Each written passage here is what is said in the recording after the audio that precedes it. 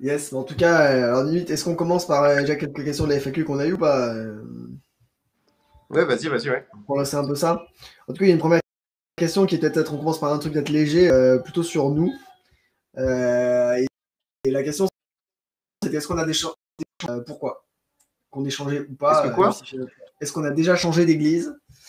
Et si on a déjà changé, pourquoi? Et si on n'a pas déjà changé, pourquoi aussi? Euh, bah, tu veux commencer ou je commence?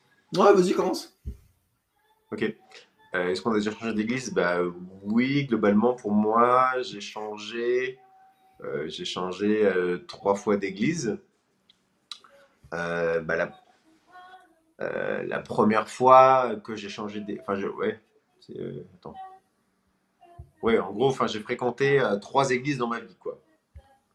Trois églises principales que j'ai fréquentées dans ma vie, donc. euh, Et euh, pourquoi est-ce que je les ai quittés? Bon, bah, euh, bon, il y a l'église, euh, l'église dans laquelle j'ai grandi, bah, c'est que, en évoluant, tu évolues théologiquement, tu évolues théologiquement et tu évolues aussi dans ta, conception de l'église. Parfois, il y a des gens sur qui tu es d'accord sur le fond, mais en fait, mais dans l'expression de la manière dont ils veulent exprimer leur foi, bah, en fait, tu te reconnais pas, tu vois. Et donc, bah, en fait, donc j'ai. Voilà, donc bah, c'est ça qui a fait que j'ai fini par, par quitter l'église dans laquelle j'ai grandi et le mouvement, de manière plus générale, le mouvement d'église dans laquelle j'ai grandi, c'est que bah, je me, bah, j'avais certains, certains désaccords de fond quoi, qui faisaient que bah, en fait, je me me reconnaissais plus et, puis surtout, ben eux non plus se reconnaissaient plus en moi, quoi, donc il y avait un peu un désaccord, un divorce, et donc, euh, donc ben, je, voilà, j'ai fini par partir euh, à un moment donné. euh, donc, je sais pas forcément qu'il y avait des problèmes, quoi, mais juste, ils avaient une vision différente de la mienne, et donc, ben, on s'est voilà, séparés, quoi. Alors après, c'est toujours. Euh, après, je, je parle un peu Nathanaël, tu, me tu me dis. euh, Ouais, toujours, euh, quand il y a des gens qui me posent ces questions-là, pour moi, il y a, il y a toujours. essayer de. mais je pense que ça marche pour les églises, mais ça marche pas un peu pour tout, quoi. J'ai toujours pensé en quatre, en quatre catégories. Il y a quand même quatre grandes colonnes avant de prendre une décision. C'est ou choisir, je sais pas, moi, choisir son conjoint, choisir son église. Enfin, il y a la première colonne, c'est quelles sont les choses que je ne veux absolument pas, tu vois. C'est genre ce truc-là, genre, je, je ne- je n'en veux pas, tu vois, dans, euh, Ouais. dans l'église que je vais choisir ou dans l'église dans laquelle euh, que vous aussi. Ouais. Voilà. Quelles sont les choses que je ne veux pas? Quelles sont les choses que je n'aime pas, mais que je suis prêt à tolérer?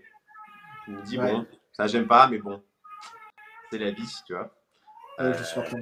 et euh, tu vois, en gros, on peut pas trouver l'église qui nous corresponde parfaitement. Puis en plus, euh, voilà. Donc, euh, donc, quels sont les trucs que je ne veux pas? Quels sont les trucs Ouais. que, je, que je suis prêt à tolérer? Quels sont les trucs que j'aimerais, troisième colonne, les trucs que j'aimerais avoir, que j'aimerais, que j'aimerais bien voir, mais bon, ça s'y est pas, tant pis. Et puis quatrième colonne, quels sont les trucs que je veux absolument avoir, quoi. Et c'est important de pas tout mettre dans je ne veux pas et dans tout mettre dans je veux, parce que, sinon, en fait, on est trop intransigeant. C'est bien de pouvoir faire cette distinction. Puis une fois, je trouve qu'on a fait cette, cette distinction, bah, parfois, la meilleure chose à faire, bah, c'est juste de, choisir quelque chose qui nous correspond mieux que ce dans quoi on est actuellement, quoi. Mais c'est pas toujours facile parce qu'on a des relations amicales, euh, des, voilà, c'est pas, pas si simple J'entends souvent des discours des gens ouais t'as qu'à changer d'église, tu vois. Euh, bah oui, bah c'est pas si simple quoi. Parfois il y a des choses qui te lient dans l'église, t'as des Ouais, c'est ça. engagements, t'as des relations, euh, tu vois. c'est pas si facile de quitter son église quoi. Donc, Ouais, clairement. Ouais. Mais Je pense qu'il y a deux choses, tu parce que d'un côté, il y, a des, il y a des discours culpabilisants aussi. Moi, j'ai déjà entendu des gens qui veulent changer d'église, et puis là, on sort le fameux verset, euh, tu ne soyez pas comme ces quelques-uns qui quittent leurs assemblées. Enfin, je, je- je paraphrase euh, grossièrement. Oui, n'abandonnez pas vos assemblées comme euh, certains Voilà. ont pris l'habitude. Comme il est coutume, c'est ça, comme il est coutume de, de certains, enfin bref. Et, euh, et en fait, alors moi aussi bien, j'ai envie de dire aux gens, euh, franchement, si t'as envie de quitter ton église, quitte ton église, genre, va ailleurs. T'as pas à te sentir coupable pour ça. Mais alors moi, personnellement, j'ai changé un peu plusieurs, j'ai changé plus d'églises que ça, mais c'était surtout pour des raisons euh, géographiques. C'est-à-dire que j'ai Ouais. pas mal Bah, moi, il y a d'églises- une des trois, c'était pour des questions géographiques. Enfin, j'étais au Québec et je suis rentré Ouais. en France quoi. Ouais, forcément, c'est ça. Donc moi, j'ai plutôt changé d'église pour des raisons euh, géographiques à chaque fois. Euh, par contre, je quand je suis revenu en France, je voulais pas, parce que pareil, en gros, j'ai eu une première église euh, dans la Drôme. Ensuite, je suis arrivé sur Paris pour faire mes études, donc j'ai eu une église à Paris. Ensuite, je suis parti une année au Canada. Et quand je suis revenu en France, je voulais pas revenir dans mon ancienne église. Euh, principalement pour des raisons, ouais, des accords, je sais pas, théologiques. Puis j'avais aussi en- envie, je pense aussi, surtout de voir autre chose. Parce qu'en vrai, comme tu disais, il y a jamais une église avec qui on sera parfaitement d'accord. Donc pour moi, l'objet, c'est pas tellement ça, mais c'est euh, là, on trouve en vrai le meilleur compromis. Et, euh, et puis après, moi, je vais même aller plus loin. Des fois, c'est aussi une église. Des fois, est-ce que juste d'avoir de bonnes amitiés dans cette église-là, c'est pas une raison suffisante pour rester, même si on a. Ouais, c'est sûr. je sais pas, moi en tout cas de plus en plus, sur mode, moi aujourd'hui mon église, bah, c'est là où j'ai tous mes amis, quoi. Après le reste, bon bah ouais, il y a des accords, puis c'est pas grave, on en parle, et puis je suis content et ça me va, quoi. Mais mhm. euh, moi, personnellement, je sais que j'accorde ce qui pendant un temps était ultra important pour moi, le cadre doctrinal, la théologie, euh, la prédication du dimanche. Euh, bon, maintenant, j'avoue que moi, ce que je veux le dimanche, c'est quand j'y vais, passer un bon moment, avoir mes amis, puis m'éclater, quoi. tout cas, avoir un super message, mais bon, si je connais personne, je m'ennuie. c'est plate, comme qui dirait au Québec. bah voilà, quoi. Ouais, puis après, pour moi, je pense qu'il y a quand même un point qui est important aussi, c'est pour choisir une église, quoi c'est d'essayer de quand même s'assurer d'avoir un minimum de, de, contrôle, quoi. Ouais. Tu vois, donc, euh, parce que parfois, les relations, ça peut être aussi quelque chose qui te tient prisonnier dans une organisation qui est, qui est, mal, qui est malsaine, en fait. Ouais, bien sûr. Euh, enfin, là, c'est un des ressorts classiques euh, des sectes. Hein, c'est que en fait, tu y restes, euh, tu, tu, y restes, tu y restes à cause des relations, tu vois. C'est la chose principale qui fait que les gens n'ont pas envie de quitter la secte, c'est que, bah, c'est qu'en fait, ils y ont des relations et que bah, ils ont pas envie de les perdre, tu vois. Et donc parfois, bah, en fait, pour son propre bien, il, tu vois, il faut, faut, oser faire le pas en dehors, quoi.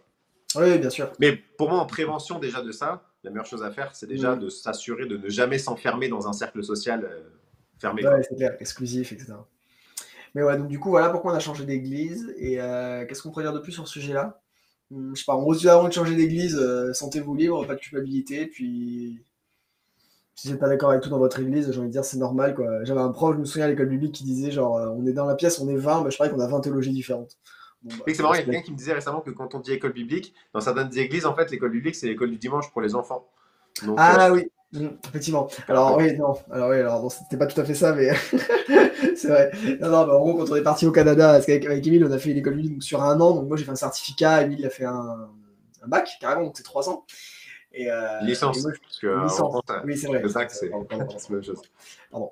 Et, euh, et, je me souviens, j'avais un prof qui disait ça, quoi, qui disait, on est 20 dans la pièce et je parie qu'on a 20 théologies différentes. Et euh, bref, ça m'est resté comme euh, ça m'est resté. Et en vrai, si on cherche que des gens qui sont d'accord avec nous sur tout, bah, on risque de faire son église tout seul chez soi. Quoi. Ouais.